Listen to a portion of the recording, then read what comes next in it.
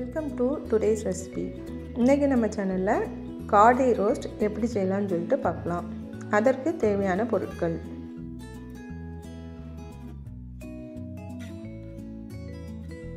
காடை ஐந்து. இஞ்சி பூண்டு பேஸ்ட் ரெண்டு டீஸ்பூன். மிளகாய்த்தூள் ரெண்டரை டீஸ்பூன். மல்லித்தூள் ரெண்டு டீஸ்பூன். மிளகுத்தூள் ஒரு டீஸ்பூன். ஜீரக பவுடர் ஒரு டீஸ்பூன். கரம் மசாலா ஒரு டீஸ்பூன். தயிர் நூறு எம்எல். உப்பு தேவையான அளவு. இப்போ ஒரு பவுலில் காடை எடுத்துக்கிடுங்க. காடைக்கு தேவையான உப்பு சேர்த்துக்கிடுங்க.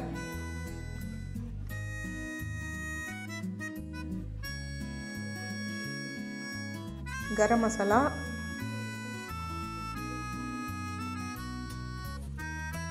மிளகுத்தூள் ஜீரகத்தூள்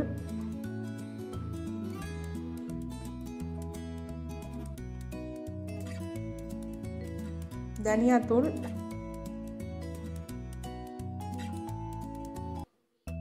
மிளகாய்த்தூள்.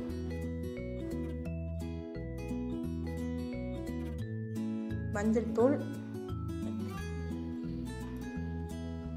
இஞ்சி பூண்டு பேஸ்ட் தயிர். எல்லாம் சேர்த்து நல்லா மிக்ஸ் பண்ணுங்கள் மிக்ஸ் பண்ணி மூடி போட்டு ஒரு ஒன் ஹவர் ஊற விட்டுருங்க. அப்படின்னா காடை வந்து நம்ம சாப்பிடும்போது ரொம்ப சுவையாகவும் சாஃப்டாகவும் இருக்கும். சீக்கிரமாக வெந்துடும்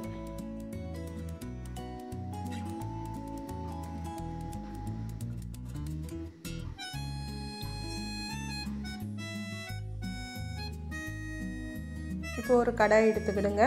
அதில் தேவையான ஆயில் சேருங்க. ஆயில் வந்து ரோஸ்ட் ஆகுறதுக்கு கரெக்டாக இருக்கும். எக்ஸஸாக நமக்கு மீதி வராது. இப்போ ஆயில் சூடாகிடுச்சு நம்ம ஊற வச்சுருக்க காடை அதில் சேர்த்து நல்லா மிக்ஸ் பண்ணி சிம்மில் வச்சு பத்து நிமிஷம் வேக விடுங்க.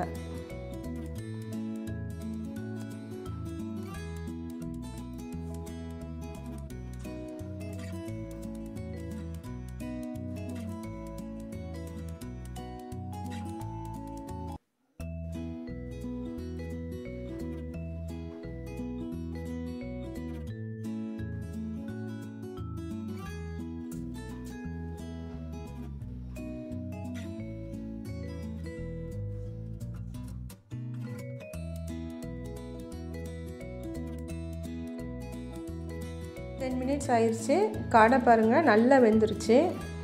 இப்போ இந்த ஸ்டேஜில் ஃப்ளேமை வந்து மீடியத்தில் வச்சுக்கிடுங்க. நல்லா வேக விடுங்க. அப்போ அப்போ கொஞ்சம் கிளறி கிளறி விட்டுக்கிடுங்க.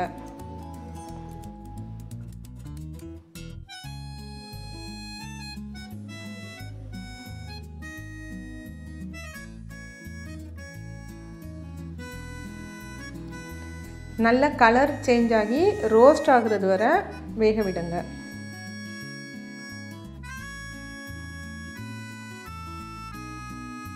இதுக்கு வந்து எக்ஸஸாக நம்ம வாட்டர் விடாண்டாம் நம்ம ஊற்றுற தயிர்லே அது வந்து கரெக்டான பதத்துக்கு வந்துடும்